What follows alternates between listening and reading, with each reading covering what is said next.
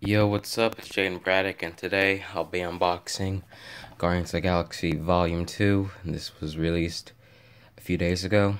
And it's the front, one of my favorite MCU movies. Spine. The back.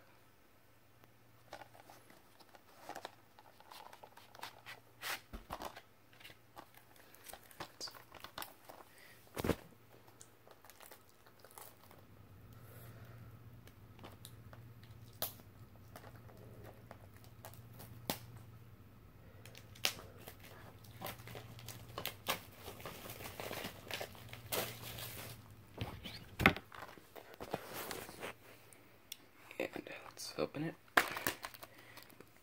Here's the Blu-ray, then the digital copy, then the DVD. So this was the Guardians of the Galaxy 2 Blu-ray unboxing.